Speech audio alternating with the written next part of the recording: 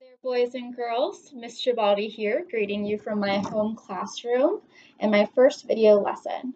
Today, we're going to review a bit of word learning together, including identifying our alphabet's vowels and consonants, creating words from those vowels and consonants, and also creating words that rhyme.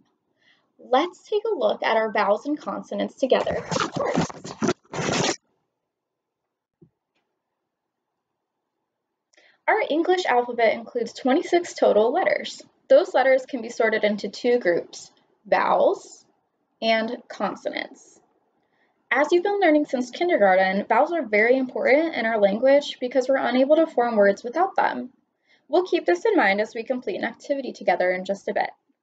First, take a moment to think to yourself or think aloud with whoever you may be viewing this video with what are our five vowels besides the sometimes Y vowel? I'm going to give you a second to think about this.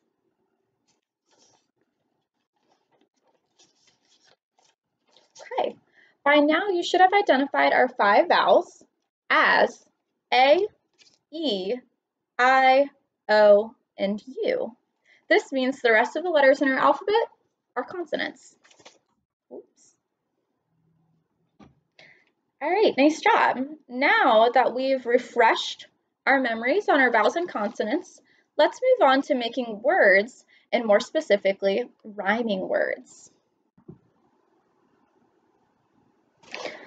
We use, see, and hear rhyming words all the time in our reading, writing, and even the music that we sing or listen to. Words rhyme with one another when they share the same end sound. You may find words that rhyme in a story, poem, or your favorite song. Here's an example you may recognize from a popular Dr. Seuss book. Hop rhymes with pop. Hop rhymes with pop because both of these words end with the same sound, and that sound is op. Hop rhymes with pop going to underline that op sound in both of my words to remind me that rhyming words must share the same end sound, and these two do. Therefore, they are a rhyming pair. Okay, now I'm going to give you a moment to try some on your own. We're going to look for some other words that rhyme with hop and pop or end with that same end sound, op. Okay. So here you can see we have hop and pop on our left side. We're looking for words that rhyme with those two words as well. Our first example is top. Where do you think top goes? Does it rhyme with hop and pop? Or does it have a different end sound? Take a moment to think to yourself, does this word rhyme with hop and pop? Or does it not rhyme with hop and pop? If you answered that yes, it rhymes with hop and pop, you are correct because the word top, again, has that same end sound, op. All right, let's look at a few more examples together. How about the word mope? Does mope rhyme with hop, pop, and top? Or doesn't it? Take a moment to think to yourself, where does the word mope belong? How do we do? Mope does not rhyme with our words on this side because it does not end in op. It ends in ope, mope. Yes, it has the OP in there, but again, we remember that rhyming words must share the same end sound. So this would be a non-example for us. Okay, we're gonna do two more together. Plop. Think to yourself for a moment, where does plop belong in our sort? Plop rhymes with our list of words so far, again because it ends in that same sound, op. Plop rhymes with top, hop, and pop. Last word, bopped. Where does bopped belong in our sort? Does it rhyme with these words or doesn't it? Take a moment to think to yourself or share with the person you're viewing this video with. Does not rhyme with these words because it ends in ed, does not end in op. It's a tricky one because it still has the op sound, but again, we remember that rhyming words must share the same end sound. It ends in ed, these words do not. Nice job, boys and girls. Now let's move on to our activity. This week, your word learning task is to use the letters from the word basketball to create a list of new words, including rhyming words. Today, I'm going to model how to think aloud through this activity using a different word. And the word I'm going to use today is beautiful. Okay, before we begin, just want to take a second to notice the strategy I use to do this activity. I wrote my word out on a note card. You can also use any piece of paper, scrap paper, what have you. And I just cut apart the independent letters so that I can actually manipulate these letters and move them around as I'm trying to create new words. So just a quick helpful tip for you all at home. Okay, before I begin creating words and looking for rhymes, I again want to remind you the importance of separating our vowels and our consonants like we did earlier. So I'm going to take a look at all my letters and identify the vowels first. I recall that we were using our vowels A, E, I, O, and U earlier. Okay, so here's A, E, I. We do not have an O in this word, but we do have two U's. That means that my other letters, B, T, F, and L, are consonants. Okay.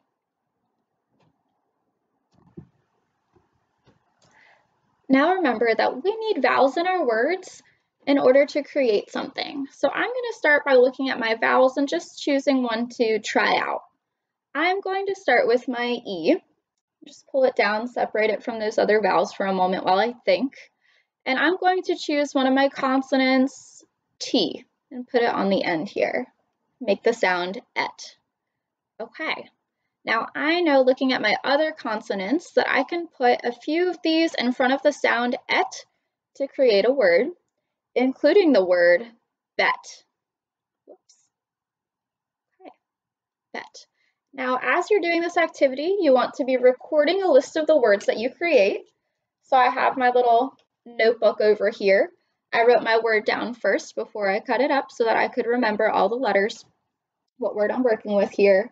I'm going to record my first word, bet. Okay, now remember that part of your task is to also try to identify some rhyming words. Okay, so let's take a look back at our consonants. Is there another word that we can create that ends in the in the sound et, like bet, using one of these two consonants? Hmm, take a moment to think to yourself. Fet is not a word and will not work, but if we use our L, we can create the word let. And again, it has that same end sound, which makes it a rhyme.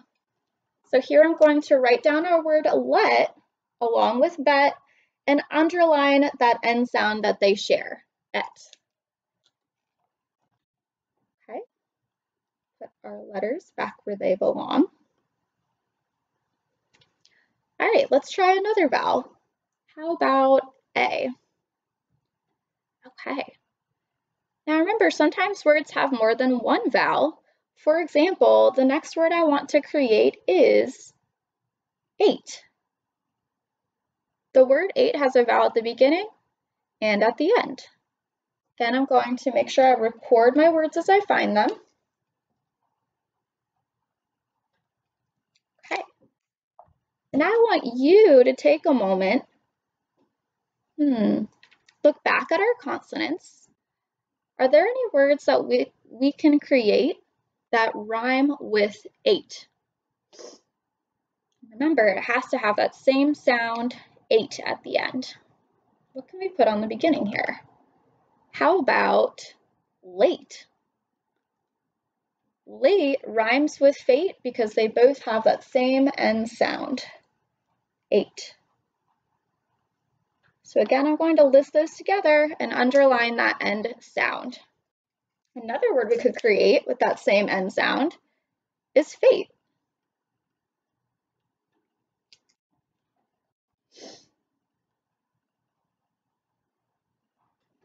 Okay. Now let's look at our eye. Pull it down. Hmm, okay. I know I can make the word it, but we want to make longer words than just two letter words. So I'm going to think about what consonant I could perhaps put on the front of this sound it to make a bigger word, like fit.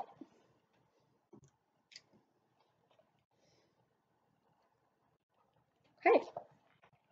Now this works out great because I know that I can also make this word into bit and also lit, which means I have another list of rhymes. Fit, bit, and lit all have that same end sound, it.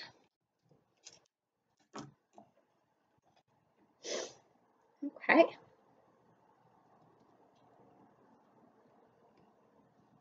All right, I'm going to do a few more examples with you before you try this on your own with your word basketball.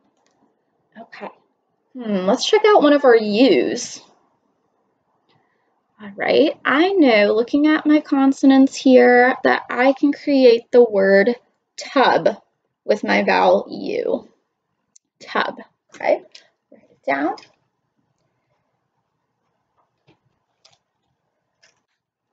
Looking at my other consonants, I do not believe I can create a word that rhymes with tub, lub, thub. That's not going to work, but that's okay.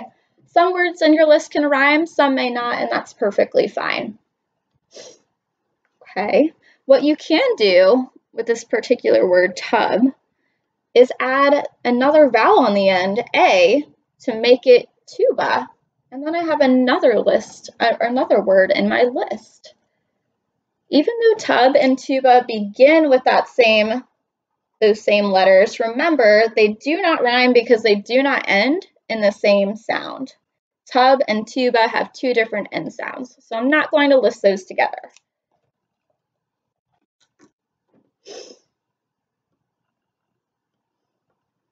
Okay, just a few more. Okay, I'm going to bring our E back down because I want to remind you, friends, that sometimes words can have vowels that go right next to each other. For example, we can put our E and our A together, and then we can put our consonant T on the end to create the word eat.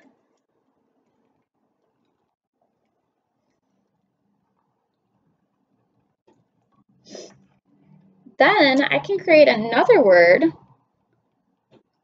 with these same two vowels E and A next to each other by putting the consonant B on the front.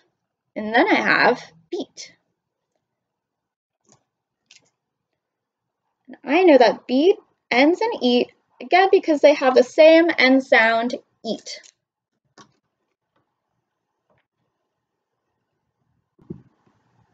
Now it's your turn. Remember to think about those vowels and consonants when you create new words and common end sounds when you create your rhymes. When you're done, don't forget to post your list or send it to your teacher. We can't wait to see what you come up with. All right, friends, thanks for tuning in. That's all for now. See you next time. Bye.